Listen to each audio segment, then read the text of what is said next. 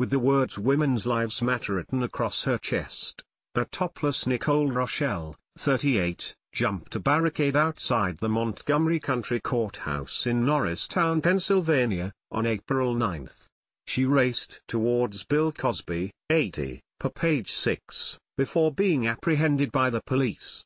Nicolle wanted to make a statement on at the start of the disgraced comedian's retrial over his alleged sexual assault of Andrea Constand, 44, in 2004.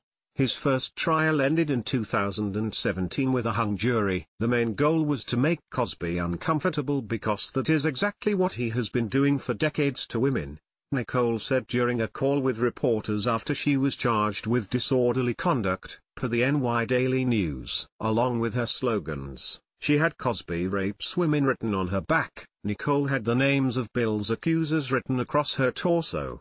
It was definitely a peaceful type of protest. I just wanted him to feel my presence and to feel uncomfortable.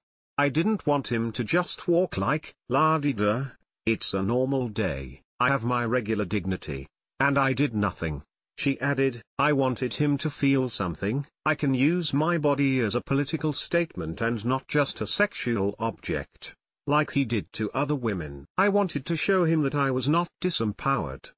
Nicolle, who is professionally credited as Nicole Leach, appeared in four episodes of The Cosby Show between 1990 to 1992, portraying the character of Danielle.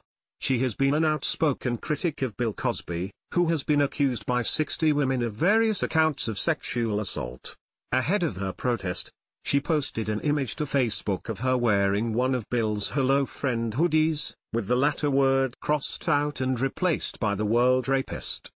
In honor of the first day of the Bill Cosby retrial, I went by the address where they filmed the Cosby Show exterior in New York City.